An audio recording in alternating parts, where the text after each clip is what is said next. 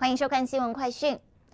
费城昨天下午，一名持刀非裔男子遭警方连开多枪击毙，引发骚乱。大批愤怒的群众在警署附近聚集，并向警员施袭，至少三十名警员受伤，另有数十人被捕。警方当地下午三点多接报到场，发现二十七岁已有精神问题的非洲裔男子华莱士手持凶刀。警员多次要求他放下，不果，两名警员向他开了至少十四枪。华莱士母亲冲上前要求警方停止，并向其中一名警员投掷物件。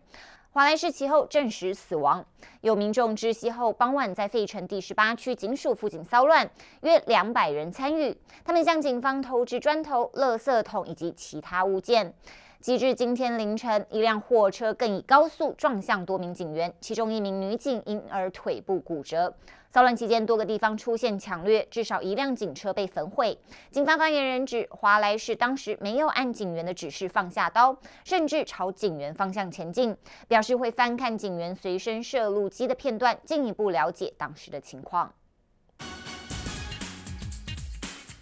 总统川普承认，下周二大选投票日前不能就抗疫纾困方案达成协议。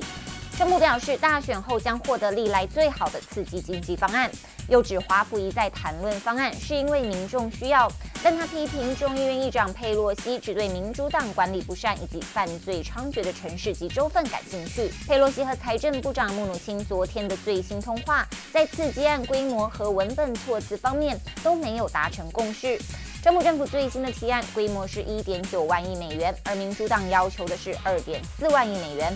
长达数月的谈判僵局令美国经济更容易受到新冠疫情反弹的冲击。十一月三日选举后将推出的方案细节尚不得而知，很可能受到选举结果的影响。美国大选临近，民调机构拉斯穆森报告今天发表最新的民调调查。民主党总统候选人拜登支持度目前仅领先总统川普两个百分点。在拜登次子韩特近日爆出丑闻后，川普支持度有所回升。本次调查分别于二十二日以及二十五至二十六日举行，即流出疑似韩特不雅影片及照片期间进行，一共访问近一千五百名选民。调查显示，拜登支持度为百分之四十九，而川普亦有百分之四十七。调查另发现，拜登在民主党人中的支持度只有百分之七十八，不及川普在共和党中获得百分之八十二党友的支持。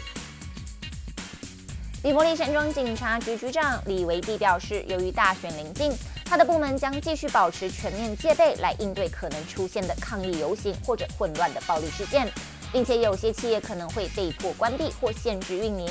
由于此前的几次抗议活动，购物场所，特别是较为高档的商店，都会被犯罪分子作为趁乱抢劫的首要目标。于是，比佛利山庄的购物街 Rodeo Drive 将于十一月三日和四日禁止车辆和行人通行。李维蒂还表示，从万圣节开始，直到选举结束，警局都会加派人手在整个住宅区和商业区巡逻。他们还将与私人的保安公司合作，一起维护当地的治安。更多详细的报道，请继续收看即将播出的华语电视《晚间新闻》。